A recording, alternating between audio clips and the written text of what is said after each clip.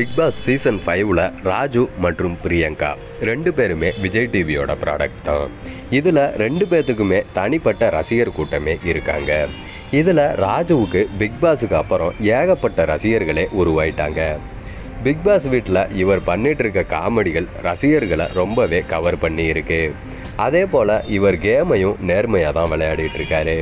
ஆனால் கடந்த ரெண்டு நாட்களாகவே ராஜுவோட பேச்சு சமூக வலைதளத்தில் விவாதமாக மாறி இருக்கு நேற்றைய நிகழ்ச்சியில் ஸ்ருதியோட ஆடை பற்றி பேசின ராஜு ஸ்ருதியோட ஆடை நல்லா தான் இருக்கு.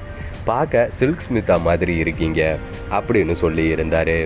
இந்த நிலையில் சில்க் ஸ்மித்தாவை கவர்ச்சியோட அடையாளமாக சொல்ல வேண்டான்னு பலரும் சமூக வலைதளத்தில் கருத்துக்களை பதிவிட்டுட்டு இருக்காங்க. சினிமா துறையில் இருக்க பலரும் சில்க் ஸ்மிதாவை ஒரு நல்ல மனுஷி மற்றும் சிறந்த நடிகைன்னு தான் சொல்லி இருக்காங்க ஆனால் வெறும் ஆடை பற்றி பேசினப்ப ராஜு சில்க் ஸ்மிதாவை ஒப்பிட்டு பேசினது சரியில்லைன்னு சொல்லிட்டு இருக்காங்க அதே போல் கடந்த ரெண்டு நாட்களுக்கு முன்னாடி தாமரை காயினை ஸ்ருதி எடுத்தப்பையும் ஒரு பிரச்சனை ஏற்பட்டுச்சு. அப்போ பவானி கிட்ட ராஜு பேசினப்ப நீங்கள் ட்ரெஸ் மாற்றும் போது விடுவீங்களான்னு பேசுனது கூட சமூக வலைதளத்தில் ரொம்பவே விவாதமாக மாறிச்சு.